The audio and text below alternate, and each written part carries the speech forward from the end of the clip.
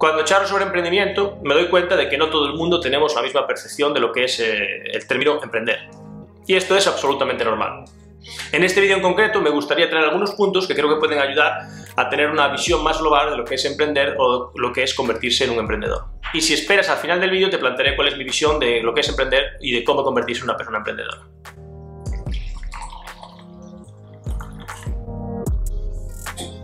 ¿Qué te parece entonces si lo primero que hacemos es ver cuál es la definición de emprendimiento?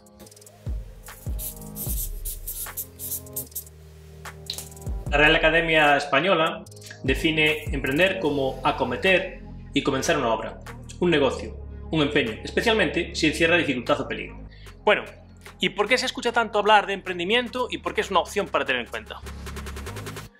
Parece que tiene algunas ventajas, ¿no? Como gestionar tu tiempo, trabajar donde te dé la gana, ser tu propio jefe, dedicar tu pasión eh, a crear un valor hacia los demás, por lo tanto con tu esfuerzo sentir una sensación de logro propia, ¿no?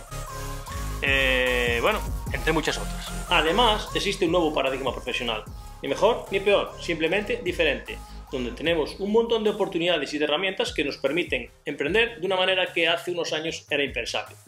Tenemos la información a, a golpe de un clic, tenemos la digitalización, la inteligencia artificial como herramientas muy poderosas para poder trasladar nuestro talento, que está muy valorado, a cualquier parte del planeta. O sea que ahora mismo no hay límites. Y esto enfrente a un sistema profesional, a un paradigma profesional tradicional, donde mm, la seguridad de los empleos ya no está tan eh, segura, eh, parece que nos permite una buena opción. Hay algunas personas que identifican el emprendimiento con crear una empresa, sin embargo hay algunas diferencias. Eh, un empresario es una persona que posee o que dirige una empresa eh, aportando capital financiero, capital humano, capital estratégico, donde el éxito está muy enfocado con, con el resultado financiero, de manera general. Y fíjate que un emprendedor eh, puede estar siendo emprendedor incluso fuera del ámbito profesional. Piensa en esas personas, por ejemplo, que han decidido viajar un año para conocer otras culturas.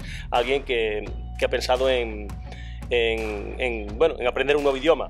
O ese compañero que ha creado el club de debate o el club de lectura en tu universidad, eh, realmente está utilizando su capacidad, eh, sí, su talento emprendedor.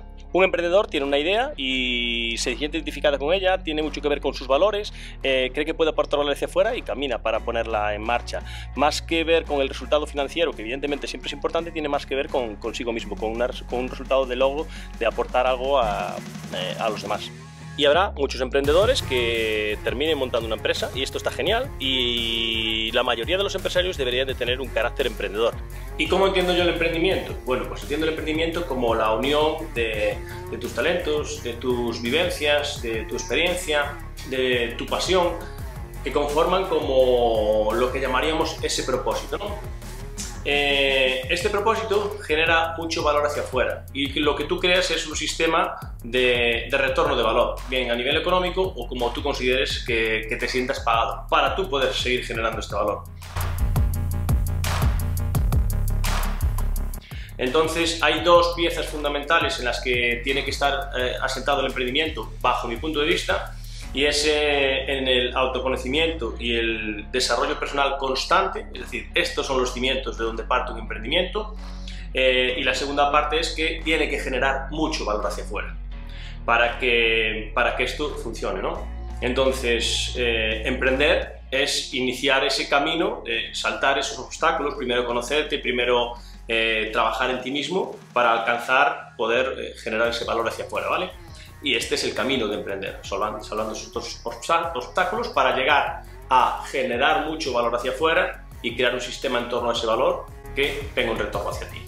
Para cada persona el emprendimiento o emprender es de una manera diferente y todas están bien.